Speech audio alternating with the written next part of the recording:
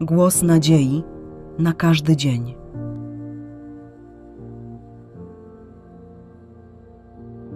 Dziwny Boży nakaz i jego skutek uboczny. Weź syna swego, jedynaka swego Izaaka, którego miłujesz, i udaj się do kraju Moria i złóż go tam w ofierze całopalnej. Księga Rodzaju, rozdział 22, werset 2. Czy wyobrażasz sobie, jak czułbyś się, gdybyś w środku nocy otrzymał od Boga polecenie złożenia swojego dziecka w ofierze? Ja nie potrafię sobie tego wyobrazić. Ponieważ każdy z nas dobrze zna tę niesamowitą historię, nie będę przedstawiał jej szczegółów. Jednak czasami przeoczamy dane geograficzne związane z tymi wydarzeniami i ich bezpośrednim kontekstem. Gdy Abraham otrzymał to polecenie, przebywał w Berszebie. Bóg polecił mu udać się na górę Moria. Jeśli góra Moria znajdowała się w bezpośredniej bliskości Jerozolimy, jak się przypuszcza, Abraham i Izaak musieli przejść drogę liczącą ponad 80 kilometrów. Pismo Święte mówi nam, że wędrowali trzy dni. Po wydarzeniach na górze Moria Abraham wrócił do Berszeby i mieszkał tam nadal. Następna geograficzna wskazówka jest zawarta w Księdze Rodzaju, rozdziale 23, wersetach od pierwszego do drugiego, gdzie czytamy, że Sara zmarła w wieku 127 lat w miejscowości Kirjat Arba, znanej później jako Hebron.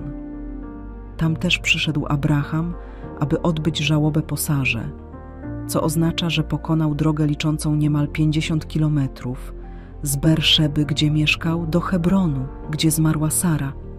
Biblia nie mówi nic o tym, czy Izaak był tam i uczestniczył w pogrzebie matki. Z innej geograficznej informacji dowiadujemy się, że Izaak mieszkał wówczas w Lachaj Roj. Możliwe i dość prawdopodobne jest to, że miejsce znane jako NL Kuderat, zwane także NL Kudes, to starożytne Kadesz. Znajduje się ponad 75 km na południowy zachód od Berszeby. Czy widzisz ten obraz? Abraham wrócił do Berszeby, Sara zmarła w Hebronie, niemal 50 kilometrów na północ od Berszeby, a więc Abraham musiał przyjść lub pójść tam, zaś Izaak mieszkał w Lachaj Roj, ponad 75 kilometrów na południe od Berszeby. Najwyraźniej po epizodzie na górze Moria rodzina Abrahama rozpadła się. Abraham pozostał w Berszebie, Sara wyprowadziła się prawie 50 kilometrów na północ, a Izaak osiadł ponad 80 kilometrów na południe. Czyżby posłuszeństwo Abrahama wobec Bożego nakazu było czymś więcej niż jego bliscy mogli znieść? Religijne zaangażowanie czasami może przynieść taki nieoczekiwany skutek.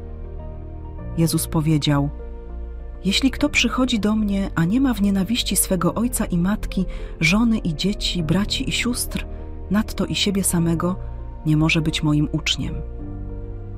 Jak silna jest Twoja wiara kom i posłuszeństwo?